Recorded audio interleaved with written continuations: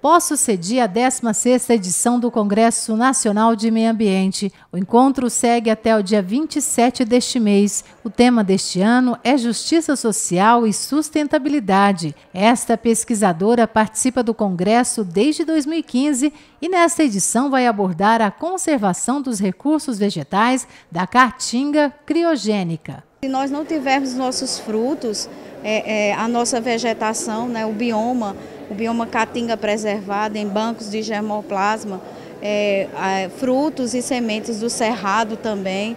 Então é preciso é, guardar essas sementes, conservá-las e preservá-las para que possamos é, trabalhar dentro da ciência, dentro da pesquisa e dentro da inovação em medicamentos, alimentação de ruminantes, né, para que ela tenha. E a gente fazendo isso, você desenvolve as cadeias produtivas locais, as cadeias produtivas regionais.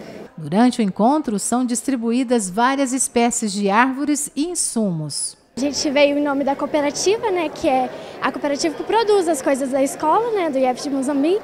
E a gente trouxe algumas plantas, umas mudas de árvore frutífera, para a gente estar tá podendo distribuir depois do congresso, né, para as pessoas levar. A gente tem os compostos também, que são todos fabricados pela escola, para poder estar tá ajudando, né, Congresso do Meio Ambiente. Está sempre para frente.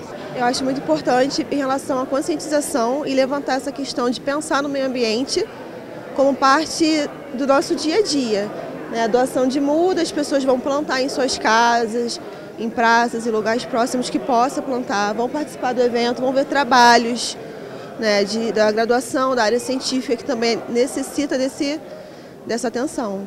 Nós não temos espaço e criamos esse espaço alternativo para que eles pudessem é, trans, colocar na, em prática o que eles aprendem lá no IF.